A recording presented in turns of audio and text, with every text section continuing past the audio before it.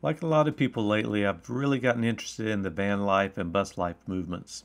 We've already spent a lot of time on the road, and I do have some build videos in the works. What I want to talk about today, though, involves one of the biggest van life questions how to make a living while on the road.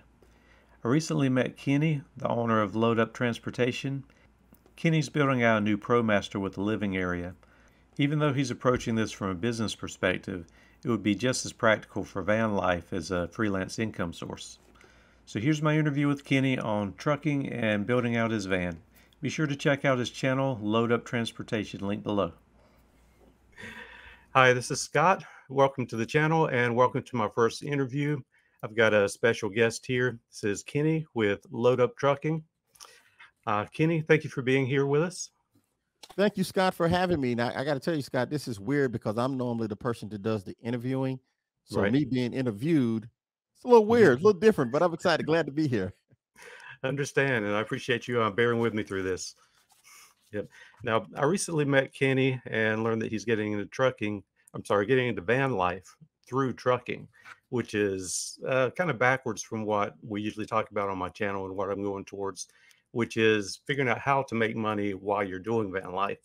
And I think van life is for Kenny is going to be uh, just a part of the business, uh, having somewhere to sleep. Uh, am I thinking about this in the right way? Right. Well, yeah. I mean, van life is, uh, and you can correct me if I'm wrong on this. Is typically someone that's looking to live out of the van, maybe camping and seeing the world and or seeing the country. And for me, it's more of a business. And so when you think of trucking, most of us think of tractor trailer, 18 wheelers, but there's so many mm-hmm. different types of equipment that you can do trucking in, whether it's in an 18 wheeler, whether it's in a box truck, or in my case, a cargo van. And mm-hmm. we do what they call expediting. Expediting is pretty much, excuse me, is what it is, what it's saying that you got to get something to where it needs to go quickly. Uh, right. And a cargo van, obviously, we're not hauling as much freight as a 18 wheeler would. Uh, it's something similar, maybe something very small. And let's just say, Scott, you you call me and says, "Hey, I need to get, I don't know, a box of candy from the East Coast to the West Coast. Mm-hmm. How much would you charge?" And we come up with a rate, and then I would bring that freight to you, and we get okay. paid. For it. So, now, oh, I'm sorry. Go ahead. Oh no, I'm sorry. I I know we're going to talk about. I'd like to talk about the specifics of what you're trying to do with your van. Um, but um, first, if we could get a little background, can you tell me uh, a little bit about how you got into trucking, how long you've been doing this, and a little of your background in that? So, my background consists of a lot. I think I'm a jack of all trades, but uh, primary, I've been in broadcast communication for over three decades. Uh, in between uh, radio jobs, I was always intrigued with trucking. So when I wasn't doing working for a radio station, I was driving a truck. You know, we always make the joke if you have a commercial driver's license, you'll always have a job. And so when I wasn't doing radio, I'd be in a truck. And the more I did it off and on, the more I became intrigued with it and started doing a lot of research and and uh, and you know, and I started driving trucks again. And I decided one day when I stopped doing radio, I want to work for myself. And I would buy a truck, and that's how I would make a living. So I've been doing trucking off and on since 2007. Oh wow. Okay. And is that mostly large trucks, semi? Is that what you've been doing? Great question. Um, yes. When I started off, uh, you got a, a, CDL commercial driver's license, and when you, for those who don't know, you, you've got a Class A and you've got a Class B, and of course, a Class C is just regular driver's license for a car. But a Class A is a license that you would need to drive a 18 wheeler. Class B is primary for buses, whether it's a school bus, whether it's a city bus, or whether you're driving a commercial Greyhound bus. Mm-hmm. Uh, and so I actually started off with the Class B and was driving the city bus for a while. Okay. And then I decided to go to a Class A. So I had to go to a trucking school. When I got my Class B, the city took me through their school to get a class B to drive their, their buses. Uh, and so I went to a truck driving school when I had to drive an 18 wheeler and I got a class A. I didn't do anything with it because I, I took a vacation from my job just to go get the class A. okay. And so later on, I went back and, and drove trucks for a little while. Okay. All right. And what you're getting in, in now is uh, expediting, uh, which is, I imagine, completely different. Uh, I don't know again. I know very little about trucking. Sorry. Well, no, you're okay. Trucking is really not that complex. It is basically, you know, uh, my wife used to ask me, well, what do you do every day? It's just moving a piece of freight from point A to point B. Freight can be anything. It can be bottled water. It could be a car part. It can be paper towel. It could be anything. So mm-hmm. trucking is just basically moving something from point A to point B, and you get paid to do it. Um, and that's pretty much trucking. The big trucks is going to move a, a, lot more freight. You've got reefer, which means it may be food.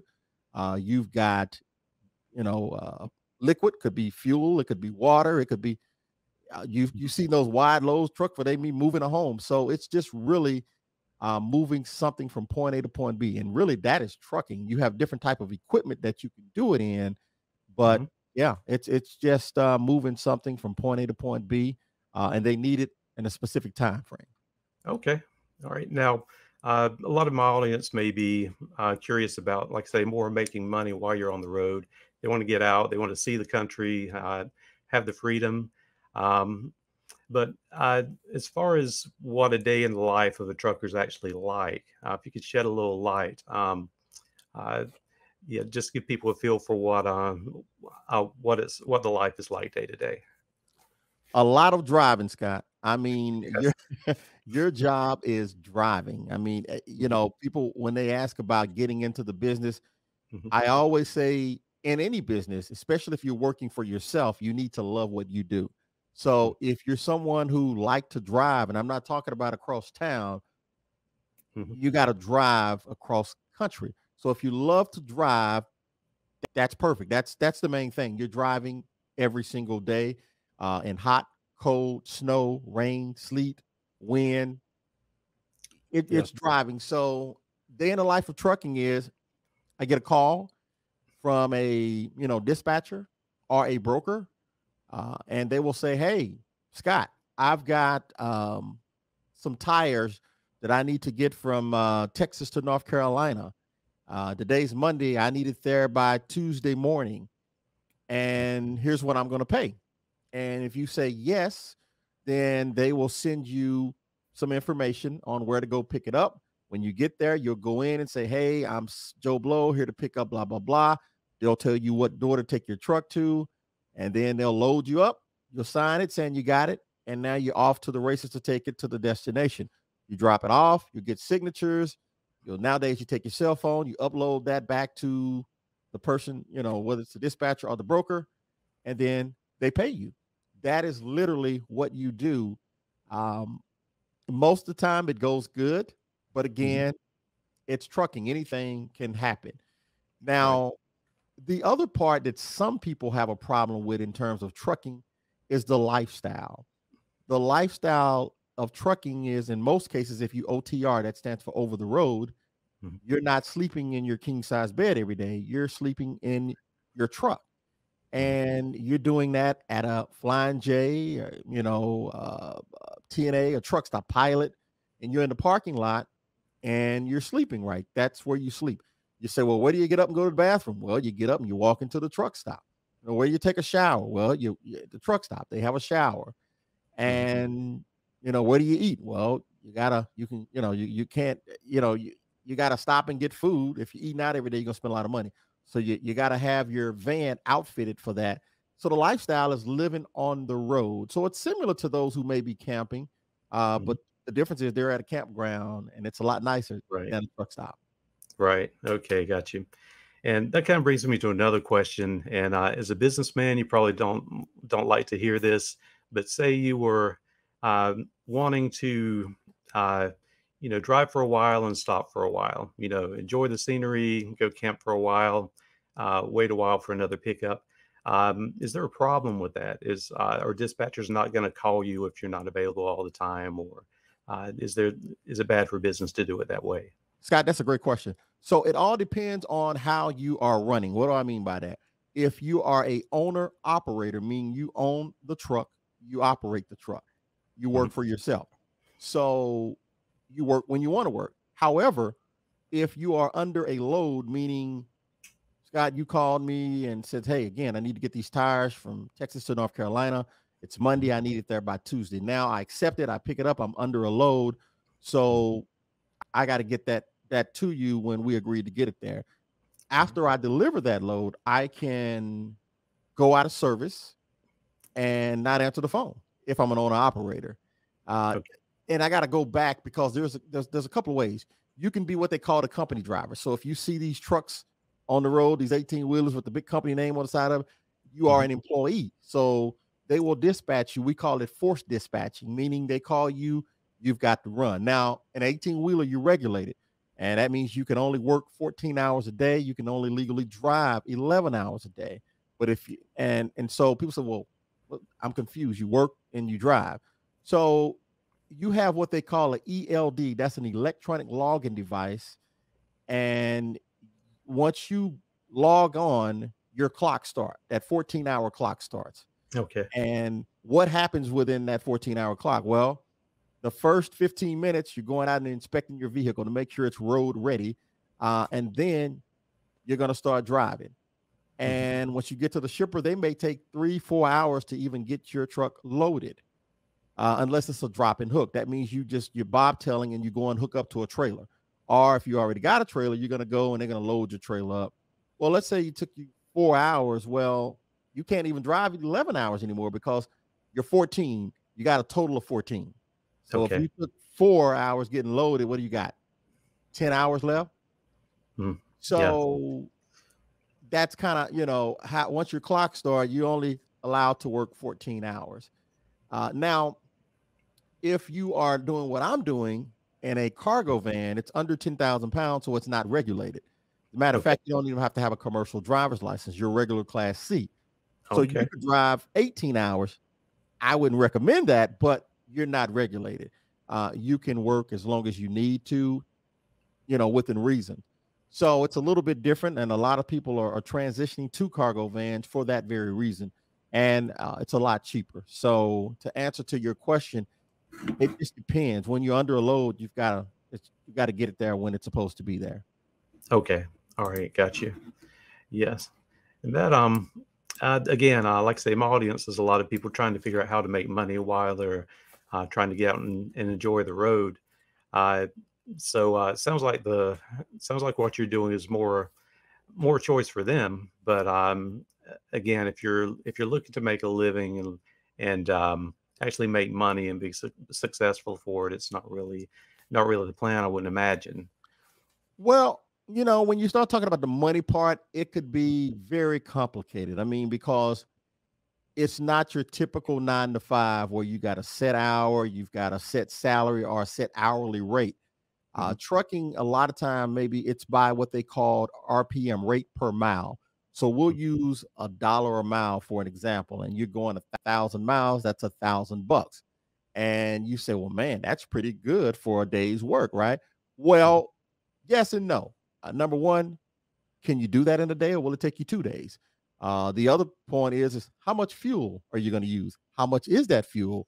Well, depending on where you are, fuel, if you're lucky, just $5 a gallon. And we're talking diesel. So it's probably more than that, six or seven dollars now, depending on when people are watching this video. So right. you've got to know what it costs you to run that truck. So if you're going a thousand miles, it's probably going to cost you 400 bucks, maybe.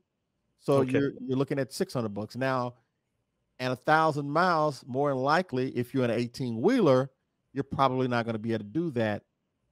And, and being and what's the word I'm looking for? And be in compliance with your the hours that, that you're allowed to work. Right. So it's going to take two days, okay. and six hundred bucks, five hundred bucks for two days work. You know, you have to decide. Okay, is is that enough money? And it just depends. You may get someone to come and say, "We're going to give you three dollars a mile."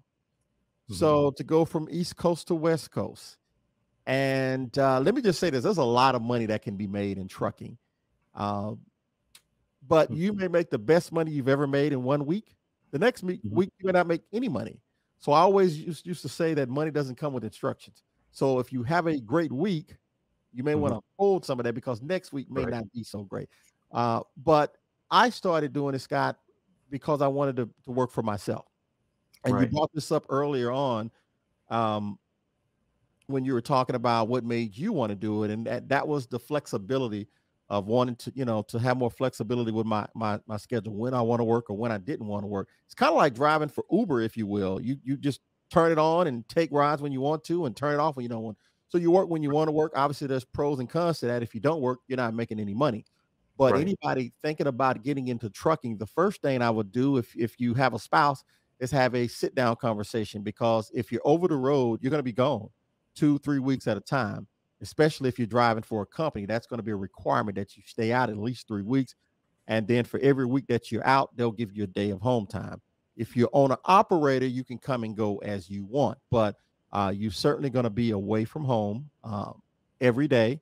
So, you know, you want to talk to the to the missus or the husband about that, uh, and, and make sure and make sure that you're okay with the lifestyle, being over the road and living out of your truck, uh, sleeping at a truck stop and and some people may be saying, well, man, he makes it sound so horrible. I love it, but what works for me may not work for the next person. And so um, I remember a, a relative of mine says, How can I find out if trucking is for me? And I said, Well, wake up about seven o'clock at night, and I want you to get on the road and drive east, south, northwest, don't matter, for about 12 hours or 11 hours straight. Only stop for fuel and restroom and keep going. When you get there, pull into a truck stop or a rest stop, get in the back of your vehicle and go to sleep. Mm-hmm. Wake up, go in the public restroom, use the restroom, take a shower, and then get in the car, turn around and come back. You drove all night. It's pitch dark. If mm-hmm. you can do that, trucking may be for you. If if okay. if you know you one of those that need to be home every night, you want to sleep in your bed and be able to watch the game, mm, mm-hmm. it may not work for you. Maybe not. And it's funny you say that because a lot of people uh, that get into van life, uh, from what I've seen, uh, it sounds like that experience is a lot more, uh, a lot more uh, true than what they what they imagined to begin with. Uh, you know, you end up sleeping at a Cracker Barrel or a Walmart parking lot, something like that. But still, I think the freedom just to be out on the road, do what you want to yeah. do, just sounds uh, it sounds like a just so much the, the, freedom, Scott, is the best part. I mean, if I'm in a camping ground with my cargo van, I can break out the barbecue pit. I can break out my mm-hmm. drones and be flying my drone. I sometimes I can go fishing. Um, depending on where I am, I'm seeing the world. If I'm in Florida, I can say I'm not going to work the next day. I'm going to be hanging out on the beach. So there's a lot of pros to it as well. Uh, and like I said, you can make good money at it. You just have to be when you get my age uh sleeping is overrated i can sleep anywhere you know once i'm if there's a pillow i'm going to sleep. And, and right. it's yeah and so it, it, it's i enjoy it but uh and again i'm working for myself. Uh now there's no benefits when you're working for yourself in terms of you got to get your own medical insurance you've got to you know set up your own uh, retirement and all of those things but again and my opinion is nothing like working for yourself now, if you love what it is that you do, if it's a regular nine to five, there is totally nothing wrong with that. I always say if you love what you do, you never work a day in your life if you love what you do. However, the flip side of that is if you own a job, you make good money, but you hate it. So right.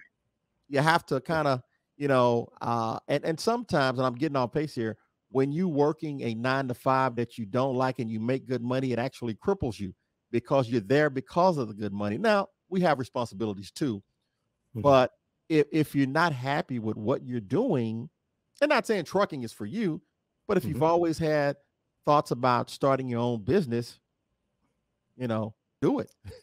right. do it. Right. I can see that. I've been uh, in the same same job for a lot of years, and you know, you do get complacent. You get, you know, it's just the thing that you do, and uh, you kind of get boxed in. So I see exactly what you're saying. If if but, you love what you do, keep doing it. But if you don't, Yes. Try to find something, do, do something else. All right. Well, now I did want to get back to one thing, one more thing before I let you go. I kind of kind of touched on it earlier. Could you tell us a little more about the van that you just bought and what you plan to do with it? Absolutely. So I bought me a um well, let me back up and tell you what I was looking at and then what I ended up buying. So I wanted to get a Sprinter van. And people, when they hear Sprinter van, they think just a van in general, but there's actually a Sprinter van. It's by Mercedes. So we just mm-hmm. gave them a plug. So a Mercedes Sprinter. Um, mm-hmm. I wanted to get the biggest, the longest, the tallest, because for obvious reasons, you can haul more freight. But right. they wanted so much money, and everything now is higher than what you would pay for two, three years ago. Mm-hmm. So, mm-hmm. and not to mention an oil change on a Mercedes is about 400 bucks. And so I said, well, you know, and it was, it took me a while. You, you would have to order and wait several months to get it if you mm-hmm. wanted to buy new. And so then I started looking at the Ford Transit, which is a really nice vehicle. They're very comfortable to drive. I mean, anybody can work on them. I mean, they they're really nice. And so they wanted, I think, seventy-five thousand dollars, and I had never heard of a cargo van for seventy-five thousand dollars. Mm-hmm. Two years ago, that van was forty thousand dollars. Right. and so, you know, I obviously decided not to do that. I said, I'm not gonna spend that kind of money unless it has a water bed, a sink, a 60 inch TV in it, and all that stuff. So, so that didn't work. So I went to look for a um a, a ProMaster. Mm-hmm. And it was kind of like the same scenario, but cheaper. They didn't have it. They they were having one built, and they didn't know when it was going to come in. So they actually said we can get you a 2022 Ram 3500 uh, ProMaster. It's 159 wheelbase extended high roof. Uh, payload capacity, I think it's about 4,600 pounds, which is really good. Mm-hmm. And I said, okay, how much is it going to cost me? Well, it was only 46,000 bucks. I don't mind sharing that. So when I compare the Mercedes that was 80 something thousand, right? Ford Transit was 75,000. Mm-hmm. Well, mm-hmm. that was a pretty easy decision to make. So Mm-hmm. They had uh, the one they were getting is it was a black one, which is what I ended up buying, and I really had some hesitation on that because black and, and and it's really hot, and I'm in Texas, so. But I end up buying it. It is a really nice van, but when I bought it, I knew in order for me to go to work in it, it needed some customizations. Uh, number one, I'm sleeping in, need a bed. Uh, number two, need air conditioner. I can't, I don't want to idle the van all day. And so I need a rooftop air conditioner. And I didn't know anything, Scott, about this. Uh, mm-hmm. When I, like I said, I used to be in 18 wheelers and you would idle those all night. Well, cargo right. van's a little bit different. So I'm saying, well, can't be that big of a deal to get an air conditioner. Well, no, yes, and no. Getting an air conditioner is not an issue, but you need a generator to make it work. And you can't put the generator on the inside of your van. yes. Obvious reasons. So I ended up figuring that part out, and then I had to have it insulated so that the air conditioner would keep it cool. I had to put E tracks on it to lock the freight down on it. As I mm-hmm. mentioned, the bed, uh, toolbox area, I had to get a lot of stuff done. So you end up spending a lot of money just to get the van road ready, if you will. Um, the bulkhead, you know, I think in most states now, when you're ha- having hauling freight, they want you to have a bulkhead separating you from the freight uh, in the driving area. So it has been a process, but I've been researching it for a couple of years and I've been preparing for a couple of years to do it. And so, yeah, that's kind of where I am with it. And uh, super excited about the van, by the way. Oh, that's great. Yeah, I'd love to be able to take a look at it sometime or get some pictures. If I do, I'll definitely post them up. Absolutely. I'll send them to you. Okay, great. Well, Kenny, I really appreciate you hanging out with us today and telling us about trucking. And like I said, something I have no idea about, but I know a lot of people on the channel, a lot of people that are looking at getting into van life is, are going to be interested in this as a, as a living. So thank you so much for all the information. You're absolutely welcome. Don't forget, if you guys have any questions, box truck Kenny at gmail.com if you have any questions. Box truck Kenny. And I also link your, your YouTube account and yeah load it's up under, uh, load up transportation on YouTube. oh, sorry, load up no, transportation. Yeah, okay, I'll link that transportation. I'll definitely link that below. And thank you again so much for your time. I really enjoyed it. Scott, thanks for having me on. I'm sorry I rambled so much, but us oh, radio oh, people, we talk all day. no, that's great. Thank you for taking the time to have me on. I appreciate it. Oh, enjoyed it. Enjoyed it. Hope to do it again. All and right. thank you everybody for for watching uh, all the way through this video. I know it ran a little bit long, but we got some great, great information from Kenny. And uh, be sure to like and subscribe below. And we'll see you on the next video.